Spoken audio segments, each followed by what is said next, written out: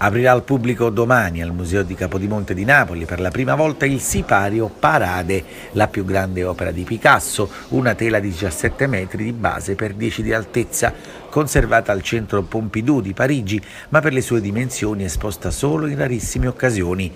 L'opera è stata issata al secondo piano della reggia del Parco di Capodimonte con un sistema di sollevamento ed è stata posizionata nella sala più capiente del museo. L'opera è stata accompagnata da un'ampia selezione di lavori del pittore spagnolo. A mostrare in anteprima alla stampa il capolavoro il direttore del Museo di Capodimonte, Sylvain Bellanger. È la prima volta che la Regione Campania, il Mezzogiorno, ha una, una, una mostra dedicata a Picasso, il più grande artista del Novecento. La mostra dimostra una cosa fondamentale, che Picasso con Parade dimostra la sua passione per l'arte popolare napoletano. Picasso è sempre stato appassionato del teatro.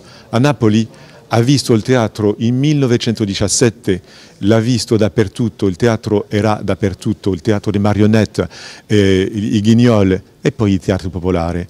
Questo è, credo, la cosa la più importante che dimostra che questa mostra, eh, con 60 opere di Picasso, con la più grande pittura di Picasso mai fatta, che è questo sipario di, che si chiama Parade, per il balletto Parade, ma che non è veramente un sipario perché si legge come, come una pittura 17 metri di lunghezza, 11 di altezza, enorme. È entrato con difficoltà nella, nella sala da ballo di, di Capodimonte e devo dire che questo incontro storico della sala da ballo con questo meraviglioso decoro e il sipario è una bellezza fenomenale.